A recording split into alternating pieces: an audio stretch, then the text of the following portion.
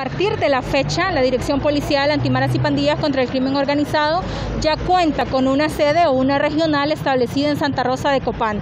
Seremos los responsables o los encargados de velar por la seguridad de todo lo que es el sector económico del país, de lo que es el departamento de Copán, Lempira y Ocotepeque. A partir de hoy la población va a tener ese conocimiento que puede interponer la denuncia a través de la línea 143 si pertenecen a estos departamentos del occidente del territorio hondureño, comenzar nuestros equipos de inteligencia las diligencias investigativas y así sacar de circulación a estas personas que se están dedicando a lo que es el ilícito de la extorsión. ¿Ya hay denuncias de, esta, de este sector, eh, amiga?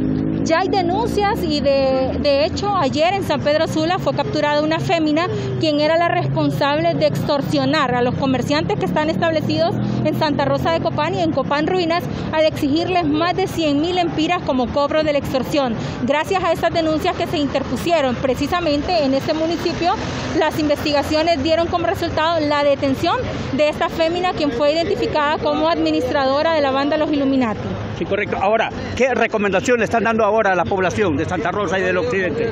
Estamos eh, precisamente este día realizando esta campaña de socialización. Se están entregando una serie de boletines informativos donde se detallan las medidas preventivas que debe de tomar en cuenta la población.